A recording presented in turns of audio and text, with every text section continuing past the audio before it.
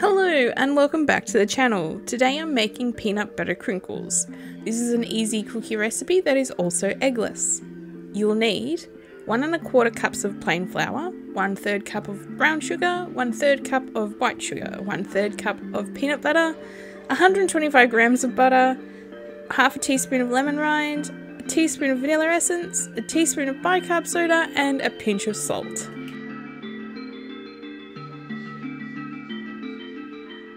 Start by preheating your oven to 180 degrees Celsius or 350 degrees Fahrenheit.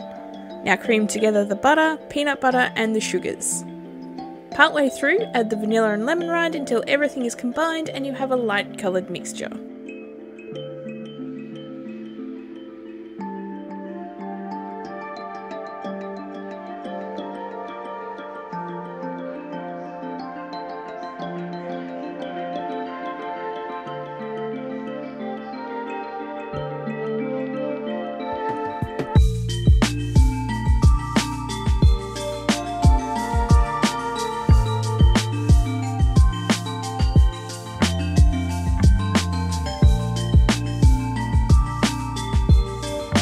With a spatula or wooden spoon, mix in the flour, bicarb soda, and salt until the dough is stiff.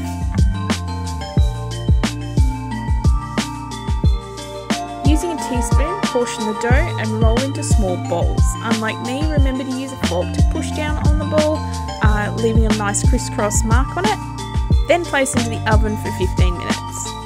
This is a really tasty cookie. The lemon rind gives it a nice brightness. I hope you enjoyed today's video. If you did, please don't forget to like the video and subscribe to the channel. Thanks for watching.